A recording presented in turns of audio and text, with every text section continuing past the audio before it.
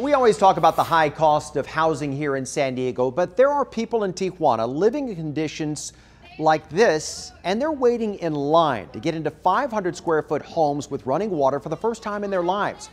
And this San Diegan is making sure they do, raising the $16,000 needed to build each home. She's raised enough money to build three so far, and she's only 14 years old.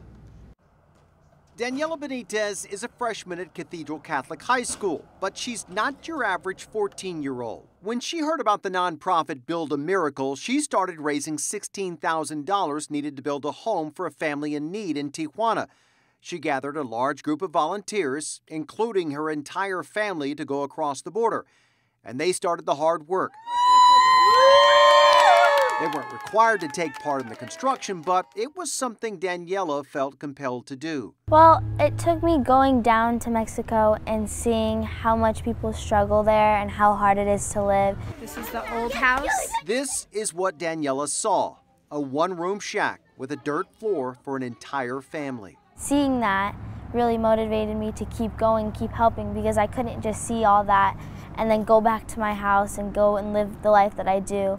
Daniella did more than just raise the funds to build a home. She created a lasting bond with the family's daughter. Little did Daniella know what kind of an impact she would have on the family, and especially the young girl almost her own age during the final reveal.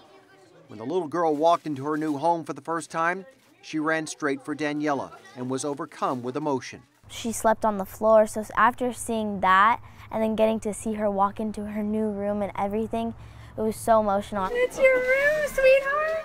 It made me cry, it made her cry, and I was so happy to get to see her life changed like that. Daniella, on behalf of 10 News and Lead San Diego, we're proud to present you with the 10 News Leadership Award. Congratulations. Thank you. Thank you.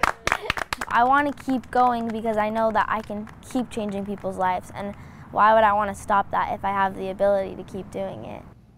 Daniella also sits on the board for an online children's clothing company called Kidbox. She got the company to donate $10,000 worth of clothes to children in Tijuana.